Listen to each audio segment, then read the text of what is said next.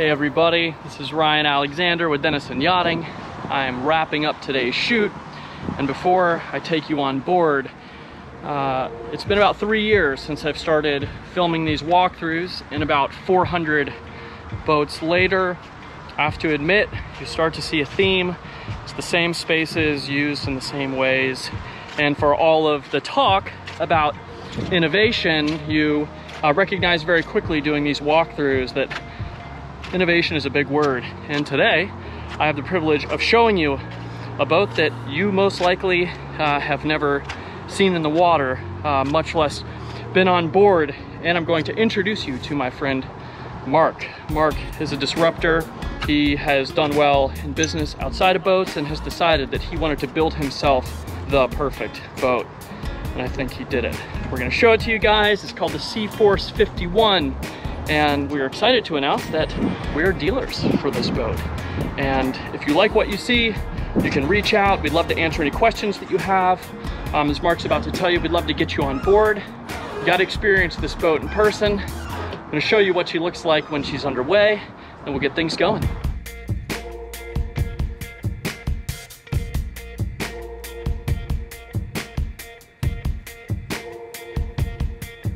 My name is Mark Calzaretta, and I'm the owner of Seaforce Center Consoles. Thanks for joining us today. Myself and Ryan are going to give you an overview of the 51, the 510cc, and then we're going to talk a little bit about the rest of the model line and tell you about the plans that we have here at Seaforce Center Consoles.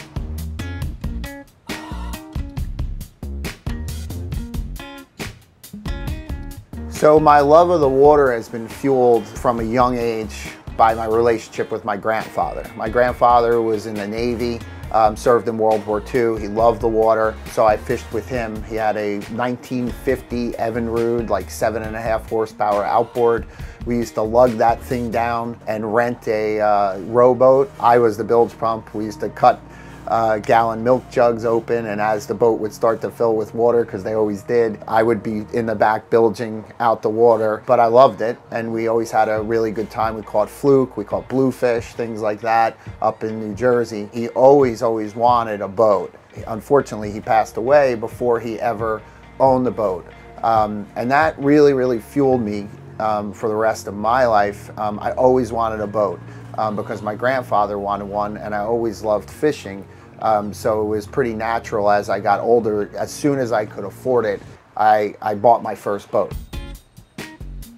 I think we're gonna start things off with explaining exactly what the 510 is.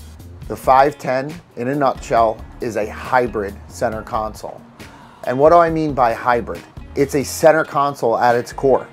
It behaves like one. You use it and fish it just like a center console. You're able to get into two feet of water when you trim up the motors. It's fast, but in the hybrid sense, it has the accommodations and all the characteristics of a sport fish or an express.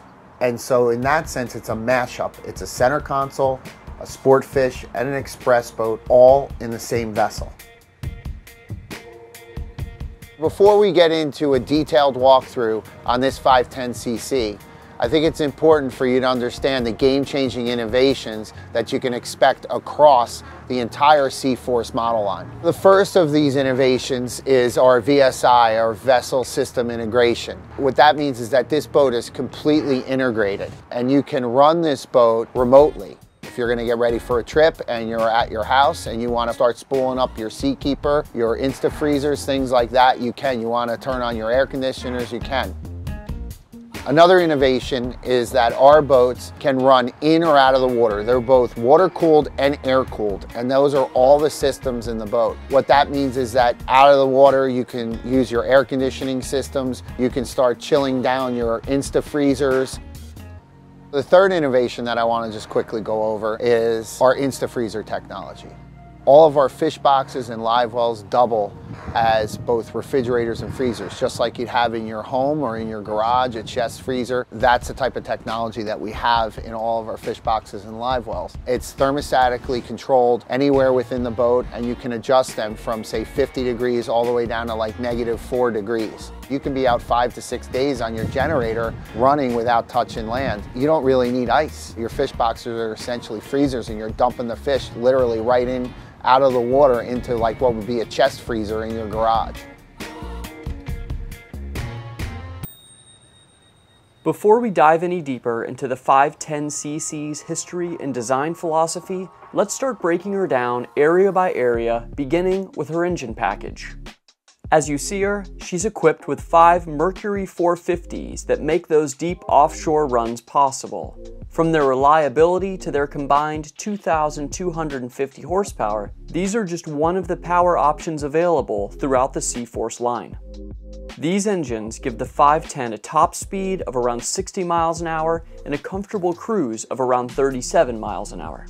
When cruising at this rate, you can plan on getting around 105 gallons an hour when running the Mercuries at around 3,500 RPM.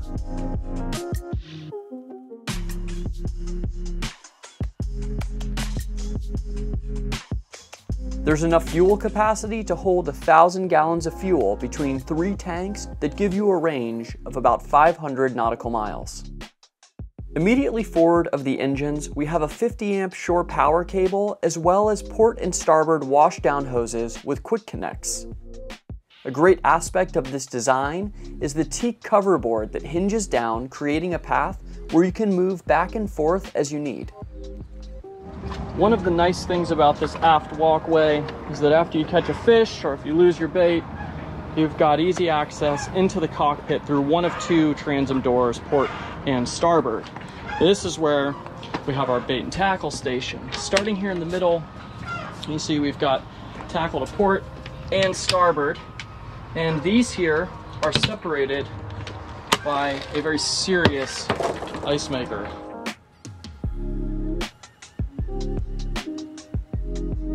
Some of the other features found here along the aft of the enclosure are a separate isotherm refrigerator as well as a freezer.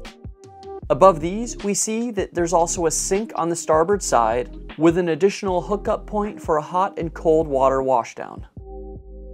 Centerline and above the prep area, we have the first of four Simrad NSS-12 multifunction displays that serve the area well by allowing you to see exactly where you're at and what's going on below the surface of the water. This screen is right next to the teaser reel remotes, which get a lot of use on this boat.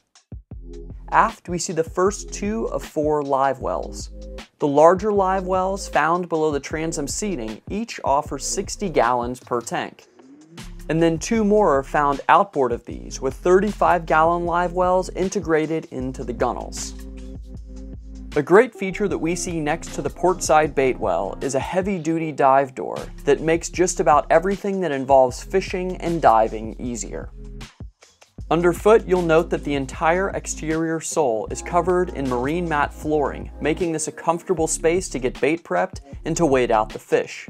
Also found at foot level are three hatches. Two of these are ultra reliable in-deck coil wrapped fish boxes which are insulated. And below the centerline split hatch is where we see that this boat is equipped with a 16 kW Kohler diesel generator with a separate 50 gallons of diesel fuel that'll run for six days with no need for refueling. Also found down here is a Seakeeper 6 gyroscopic stabilizer.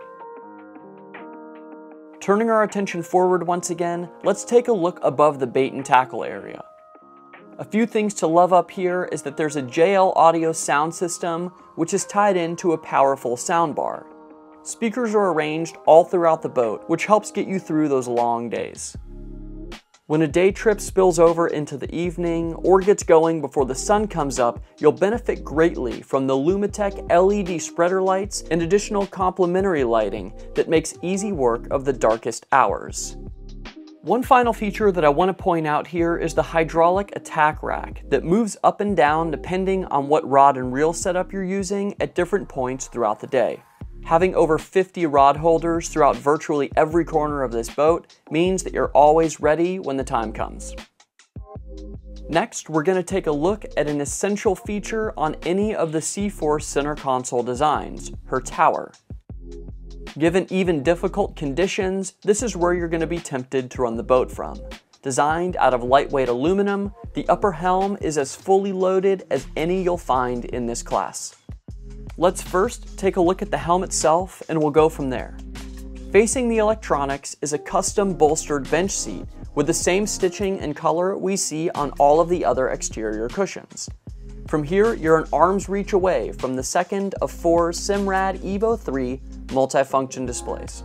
Centerline is a fully adjustable Edson steering wheel finished in black like the rest of the dash. Other important controls found here are the traditional engine throttles, a piloting joystick, and a Zipwake auto trim control. The navigation equipment that keeps the boat connected at all times starts with a Simrad 10kW 4-foot open array radar. For the more up close and personal situations, the 51 is equipped with a FLIR M324 as well as a NightTrack marine night vision camera that gives you a clear view of your surroundings in low light. Finally, I'd like to point out the 27-foot Gemlux Blue Water outriggers that flank the tower. Note that these are internally rigged, doing away with a lot of the hassle associated with traditional outriggers. From the fishing setup to the electronics and their layout, everything up here allows you to take full advantage of the high-end Seaforce platform. The hybrid nature of our boats is not just limited to the design or the aesthetics or the accommodations, but it extends to the hull form as well. We have an aggressive dead rise on our boats, and due to our unique strake geometry, the boat thinks that it has less beam than it does because our outer strake acts as a double chine, so essentially reducing beam.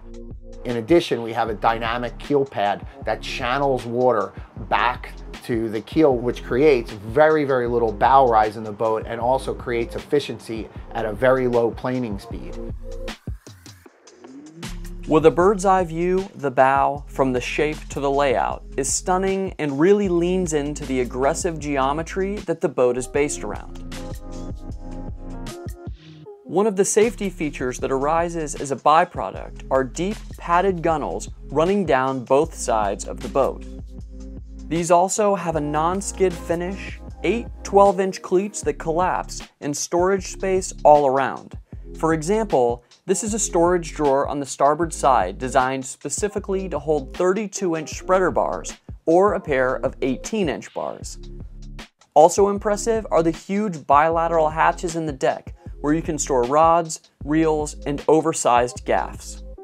Arriving at the bow, we'll next take a look at the center of the boat where we have a huge raised sun pad with grab rails that run up and down both sides. This area benefits from the same soundbar in the cockpit as well as similar spreader lights. Looking below the sun pad grab rails, you can see the windows in the structure that light up the lower deck. We'll revisit this area in just a few minutes. There's another seating and entertaining area that's found forward of the sun pad, where we have a forward-facing bench seat that's part of a dynamic, reconfigurable design. Before we move into the enclosure, I want to show you how the table setup works here on the bow. You've got your fresh and saltwater washdowns, as well as this touchpad right here. Um, these are all presets, so if you hit one, it leaves the table in the low position, essentially just a platform that you can walk over. If you hit two, it's gonna raise the platform up and create an even larger platform, joining together the aft seating and this forward bench here.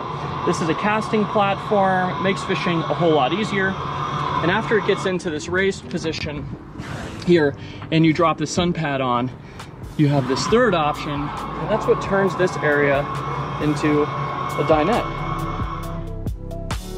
The last thing to point out up here on the bow is the anchoring system. Beneath a molded hatch, we have an Easy Polar Easy 6 Rebel windlass and a 55 pound Lewmar anchor with just under a thousand feet of rode and chain. These boats are designed to be extremely efficient, but also extremely fast. So our hull forms, when we design them, they're designed for high horsepower, they're overbuilt, they're over-engineered. Everything that we build in our stringer grids are integrated in, they're all structure. Everything's got a place, everything's got a home. And why do we do that? These are canyon tested boats. That's how we developed these boats. That's how we came up with the concepts and all of the prototyping and everything that we did within designing this line was developed with a focus of taking these boats very, very far offshore. If it's a tournament, you got to take the boat out. If it's rough in the morning, you've got to run in the morning. You don't wait till the afternoon. That's not what they're designed to do. They're designed to go when you need to go. There's likely no area of the boat poured over as much as the helm and the aluminum substructure that makes it up. Lightweight and air conditioned by a dedicated 16,000 BTU HVAC unit, there's very little that you can throw at this helm that it can't take command over. In the aft section of the enclosure is where we see the boat's dinette. U-shaped seating surrounds an electric table on three sides with a view of the horizon in every direction. A bonus found here is an isotherm refrigerator allowing you to stay put when underway. Flanking the dinette are fold-down steps that give you access to the tower through a hatch in the roof. Also found in the hardtop are the teaser reels that we touched on earlier, as well as lockable rod storage found forward. Two custom bolstered helm seats with shock mitigating pedestals face the helm. This helm, as you can see, has an incredible amount of technology right at your fingertips. For the controls, she has a molded fiberglass command station with a full complement of Raymarine electronics. The primary display here is a Simrad Evo 3 24-inch multifunction display. This can be repeated in the salon down below and is made even more valuable because of twin Simrad 12-inch Evo 3 displays just to the right. Below the monitors, there's a row of control switches. Each is backlit and clearly labeled. Outboard, there are two VHFs, a JL Audio stereo control, and a depth and speed display. Also found here on the varnished teak helm pod is a fully adjustable wheel, Mercury SmartCraft throttles, a Mercury JPO joystick with skyhook, and your thermal camera controls. There are even two chilled cup holders, making sure that whoever runs the boat can stay focused on the task at hand en route to your next offshore fishing spot. A lot of people have asked me why we started developing this line of center consoles, and it really spawns back to about five years ago. I love fishing offshore. Um, and I'm from the Northeast, so we typically make, you know, 70, 80, 90, 100, 120 mile runs, depending upon where the fish are. Um, and we decided to take a trip. I had a 42 foot, that's my last boat before I, I developed this boat, was a 42 foot center console. And we decided that we were gonna take a trip, my son, my son's friend, two of my fishing buddies, and we were gonna head out, started about 100 miles. We were gonna go big eye tuna fishing, and it was supposed to be calm, and we would probably end up at 127 miles, 130 miles, depending upon where the fish were. Um, and, it, and again, I stress, it was supposed to be calm. Two foot, um, we got out there, started fishing, and the weather turned, and it turned quickly, and it was 8 to 12 foot. So bad at one point that we couldn't even troll up sea. We could only go down sea with the boat. The weather was so bad that we had to huddle down into the console of my 42, and we were down there, no windows. Um, basically, it's like being in an MRI booth or a fish box with five guys, um, all huddled down there to get out of the weather, and that was it. At that point, I had said, "There, no more. I've been compromising. People are compromising too much in the center console market. There has to be a better way to create this sort of hybrid vessel," and that was what spawned the 510 and the rest of the model lines in the 410 and the 610 that we're developing. Mark isn't the only fisherman who's had that experience of having nowhere to go in an agitated sea. Whether staying the weekend in calm waters or adrift on a seaweed line, her fully enclosed and temperature controlled salon, four steps down from the helm, is a game changer. Seven feet of headroom, a teak veneer package, and Antico flooring work together as they make this area both durable and uncluttered. Benefiting from natural light, the portside dinette can serve at both mealtime and after when it converts into bunks. Immediately aft is a Samsung convection microwave, as well as the breaker panels. This is directly across from the boat's head that has a separate glass shower stall, where you should also make note that there's additional rod storage in the floor. Forward and to starboard in the salon is the galley with Corian countertops, a stainless sink, Kenyon two burner cooktop, and an isotherm fridge freezer.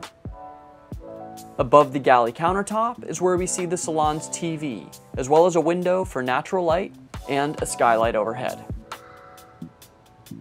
There are two cabins for overnight stays, with the smaller of the two located midship with a queen berth. A bonus feature of the area is the rod storage found above the bed. And then we have the master, which is located forward of the salon, where there's a queen V berth with cedar-lined hanging lockers on either side of the entrance. There's even a TV in here below the window in the superstructure, as well as even more rod storage in the floor by the entryway. So I think it's important for you to know what Seaforce Center Consoles is about. And we have three pillars at our company, and that is people, process, and product. And squarely in the center of those three is the customer. I'm sure that this is a common experience that others have had. I've bought new boats, and the experience has not been great. And afterwards, uh, the aftercare by the companies that manufactured those boats, I thought really lacked. That's not going to happen here. That's not what we're about. So we want to make this a very enjoyable process and something that you know you look forward to and something that you want to buy maybe the next size boat up afterwards because you liked it so much.